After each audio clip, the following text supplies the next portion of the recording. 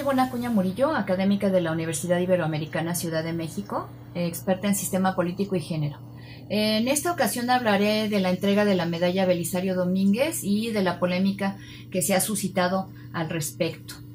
Eh, primero diré que en 2019 el presidente entregó eh, esta medalla a la defensora de derechos humanos, Rosario Barra de Piedra, y que en 2020 este reconocimiento fue para el personal de salud por su labor frente al COVID-19. Este año, 2021, la medalla se entregará a la senadora Ifigenia Martínez Hernández por su destacada trayectoria en los ámbitos económico, político, académico y diplomático.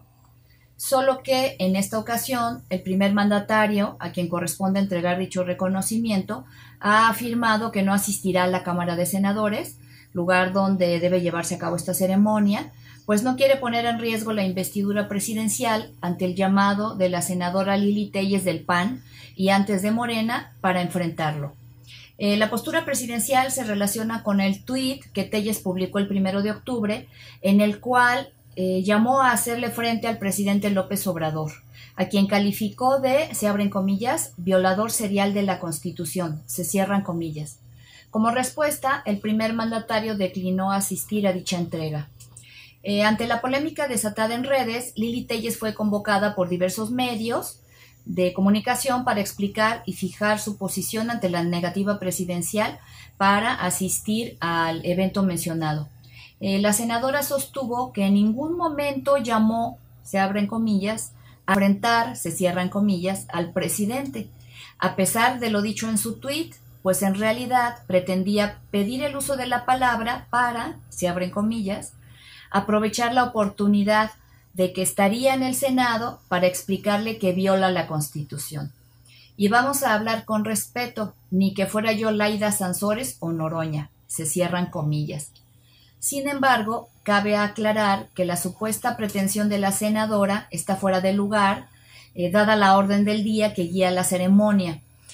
La entrega de la medalla Belisario Domínguez se hace en una sesión solemne cuyo único objetivo es dicha entrega.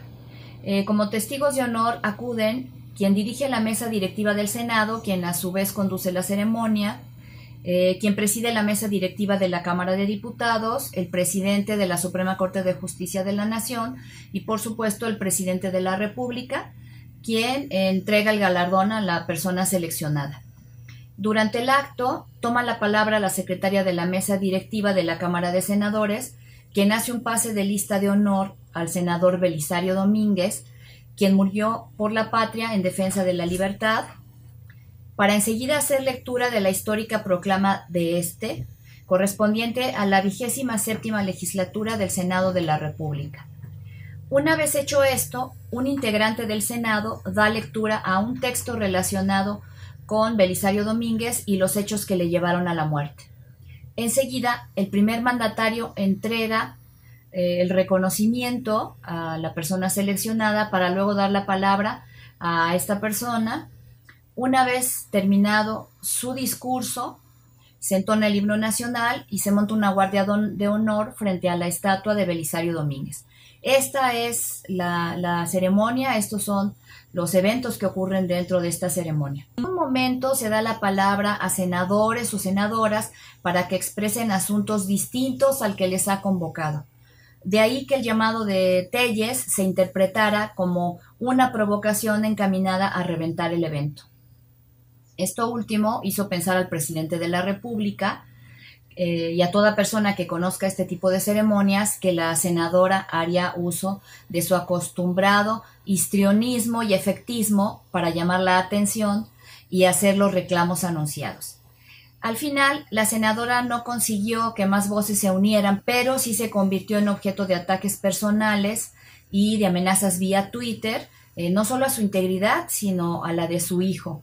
En este contexto, en la mañanera, en la conferencia mañanera del 6 de octubre, el presidente de la República hizo un llamado a sus seguidores, suponiendo sin asegurar que alguno de ellos hubiera sido quien, quien, lanzó tales amenazas, eh, para que no hubiera una agresión en contra de la senadora o alguien de su familia. Las palabras textuales del presidente fueron, Aquí aprovecho para decirle a todos los que simpatizan con nosotros, de que cuidadito con hacerle daño a otra persona por pensar distinto. Hay que respetar. No me gusta la palabra tolerancia, me gusta más la palabra respeto. Eso también lo digo porque la senadora Lili Telles se queja de que está siendo acosada. Pues está mal que se haga eso. Somos libres. Cada quien puede expresarse, manifestarse y podemos tener diferencias, pero sin agresiones. Se cierran comillas, hasta aquí las palabras textuales del presidente. Eh, la respuesta de Telles fue agradecer al presidente por esta postura. Eh, juzgue usted ambas eh, conductas y decida si es cierto aquello de que en México no existe libertad de expresión y si realmente el presidente es un dictador y un asesino de la Constitución, como la misma senadora ha expresado. Les invito a seguirme en Twitter, arroba Ivone AM, Ivone con I latina, B corta y doble N y a leer mi artículo de los lunes, mi artículo semanal de los lunes en el sitio de Julio Astillero y mi artículo mensual en la revista Zócalo.